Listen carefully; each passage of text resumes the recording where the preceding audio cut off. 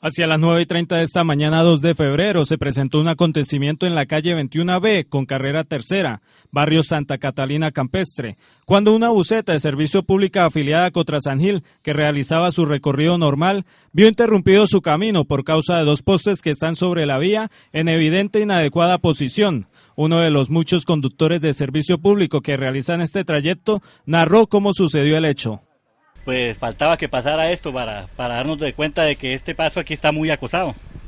¿Dificultades por qué motivo?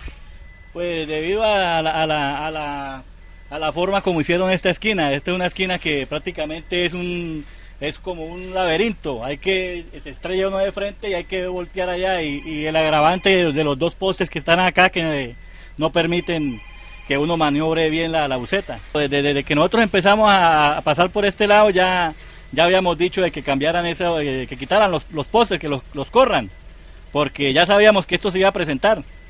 Al tarde o temprano tenía que caer una buceta aquí y pues no ha sido la primera, ha sido varias. Es de recordar que el informativo Telesan Gil el pasado 25 de enero del presente año había estado en este sector dando a conocer la denuncia que hacía la comunidad ante la permanencia de estos postes. Hasta el momento no se conoce pronunciamiento alguno de las autoridades municipales y mucho menos de la electrificadora de Santander, SAEPM, ante esta situación que afecta la movilidad y la comunicación de varios sectores aledaños.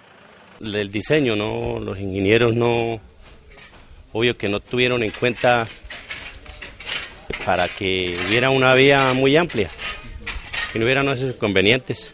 Los carros de Coca-Cola, Bavaria no, no pueden entrar porque obvio que no, no caben ahí en esa curva. La comunidad de este sector reflejó ante las cámaras del informativo Telesan Gil varias problemáticas que aquejan al sector como lo es la pavimentación de sus vías y por supuesto la inadecuada instalación de estos dos postes. Según versión de la empresa transportadora Cotrasan Gil, se está en estudio replantear esta ruta para evitar más inconvenientes y daños en sus automotores.